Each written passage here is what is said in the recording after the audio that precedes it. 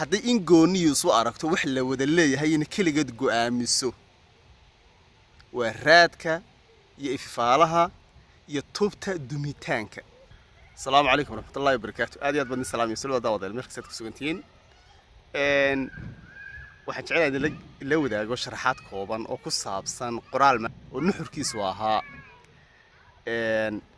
garaad ama caqli canaad ah iyo mid garawshiya la'aan tirsanaya ayaa dal dhisan gembiya markaa filcilin baa ka soo noqoto dadka qaar ba waxay u qaateen in garaadada laga hadlayo garaadada oo dee garaadka la durayo oo iyaga loo jeedo oo hase yeeshe qoraalku wuu ka guda ballaadhnaa nuxurkaa wuxuu ku saabsanaa waa caqliga.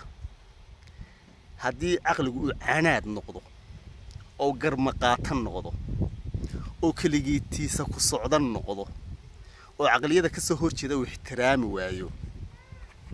Wuxuu sababaa in la dumo.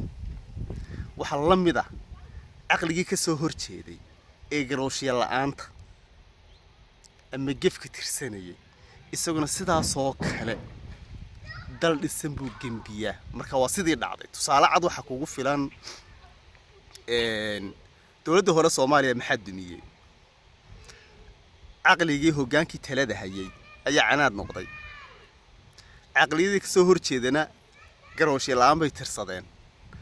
Labadii markay isu dhaceen markay isku dhaceen ee tanaasul meesha ka baxay ee tudhaala meesha ka baxay waxay noqotay in cidlo maran laysi soo taago la dumo la baaba'o.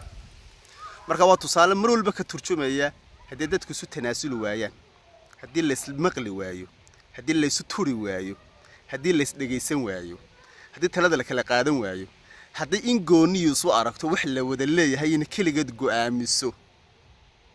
Waa raadka iyo ififaalaha iyo tubta dumitaanka.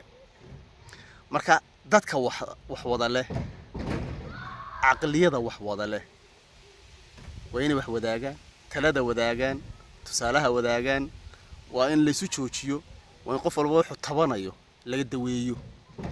Laakiin hadday ini tiraahdo annagaa taayada soconayn mar waxaa jirta caqli caqliyada ay gardarro wadaan sadbursi wadaan dad inay dhacaan ay wadaan. Caqliga ka soo hor jeedaa miyuu sugaya iska farfadhiyaya miyaa? Waxaweyaan falcelinta ka imanaysa waxaweyaan waa halis wey marka waa qoraal siyaasadda soomaalida ka hadlayay. Meel kasta ha joogaan. Hadda somalilandta ka taagan samaysatoo buur gashay dagaal horaa socday waxaas waxa weeyaan waa caqli canaad ah iyo mid garwashalayaan tirsanaya waxaana dhibaato abuuraya aad baan idin salaamayaa waa cabdishukuur maxamed sood ku dhaafaya maalinta idin wanaagto asalaamu calaykum watullahi wabarakaatu